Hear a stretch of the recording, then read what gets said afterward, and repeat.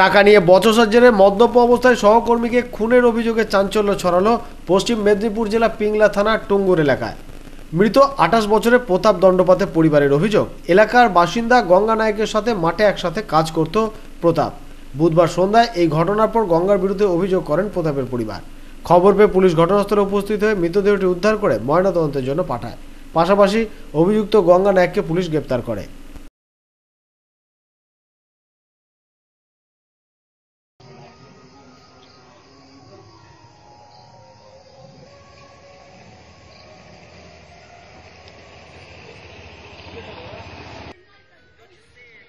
কেউ খুন করে আমি তো গেছিলাম খড় বানতে।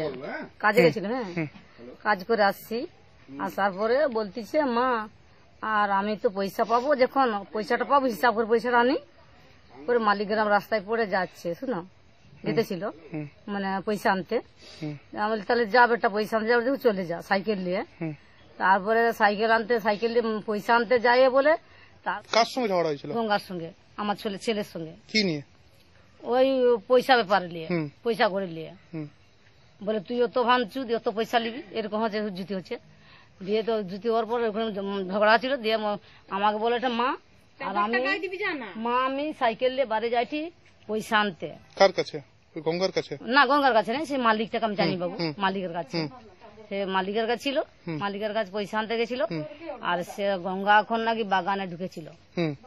বাগান ঢুকেছিল বাগানে ঢুকেছিল গঙ্গা সেইখানে দুজন নাকি একটা বাগানে বোধ হয় ওইদিকে তেল পাম্পের পাশে বাগান আছে ও বাগান নাকি দমে মারপিট চলছে দুজনের। হুম হুম দমে মারপিট হচ্ছে মারপিট হওয়ার পরে নাকি মারপিট হওয়ার পরে তারপরে আর গঙ্গা বলে ছেলেটা বলে আমি তোকে মারে দিব শূন্য মারে দিব ফাঁকে পালে।